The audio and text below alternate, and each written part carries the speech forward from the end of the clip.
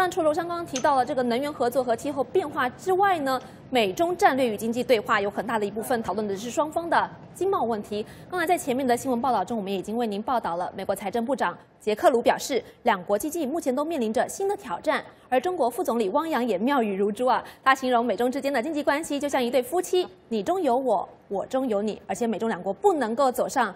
离婚的道路，因为这代价太大了。那么接下来呢，我们就立刻连线人在美国财政部的 VOA 卫视记者思阳，请思阳来我们掌握现场的一个最新讯息。思阳您好，思阳您，嗨，你好，杜宁。好的，思阳马上就请您为我们介绍一下这一次的美中战略与经济对话，在经济轨道的部分有哪些具体的内容？思阳，好。好的，那个今昨天呢是讨论的是投资和贸易的问题，然后在那个昨天经济轨道的开幕式上，美国财政部长杰克卢说，他说美国美方关注的呢是美中贸易的平衡，以及那个商业网络的盗窃，以及为美国的公司呢谋求那个更加公平的竞争环境。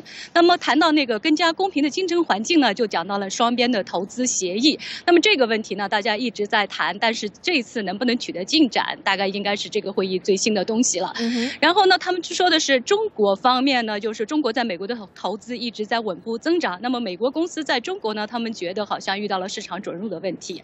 那么今天在谈的呢，就是呃金融改革。那么比方说是那个中国的审计制度等等。然后我现在就是马上八点半要开始的是这个双方的 CEO 的一个圆桌会议。东宁。嗯，好的。刚才我们也在前面看到了您的报道，说这个财政部长杰克卢认为，目前经济中国经济最大的挑战来自于他们的经济改革。那不晓得美方是如何看待中国的经济改革呢？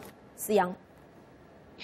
对了，杰克卢说，那个中国的这个经济呢，现在赖以增长的这个呃那个模式呢，就是说是低廉的那个劳动力和政府的巨大投资，以及那个以出口为导向。但这个呢，随着中国的那个工资越来越那个增加，然后劳动力人口的下降呢，就这难以为继了。但是呢，美国对这个中国目前所政府所做出的一切承诺，包括那个经济改革呢，他们觉得好像还是蛮蛮受到鼓舞的。他们觉得，这个中国如果经济改革成功之后呢，是对美国有助于促进美国的这个出口，所以他们还是比较期望的。好的，另外我们刚才前面也介绍了，这一次中国国务院副总理汪洋的表现很令到大家注目啊，他可以说是妙语如珠，还用夫妻关系来形容美中两国的经贸关系，说美中两国不能够离婚啊。那么您在现场的观察，美国人是怎么看汪洋的呢？思阳。美国人对汪美国官员说，汪洋就是让他们觉得是一个比较幽默风趣，而且比较容易相处的一个人。然后他们形容这个杰克卢和汪洋之间的关系呢，觉得他们建立了这个已经建立了一种工作联系。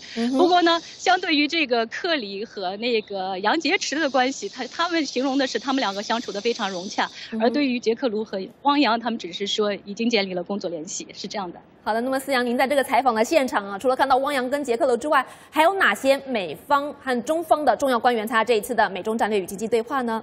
思阳。美方的伯南克，然后是美联储主席伯南克，然后是商务部长，包括那个呃 USTR 的是是是那个美国贸易代表。那中国方面呢，是中国银行行长那个周小川，中央银行行长周小川，然后还有那个财政部长等等，他们都带了。所以这次是比较顶级的这个高层官员的会晤。好的，非常感谢思阳在美国财政部前面我们所做的连线报道。稍后在财政部举行的这个圆桌 CEO 会议呢，思阳也会为我们带来最新的报道。观众朋友们可以登入美国之音的中文网，关注我们有关于第五轮美中战略与经济对话的相关报道。我们的网址是 VOA Chinese 点 com。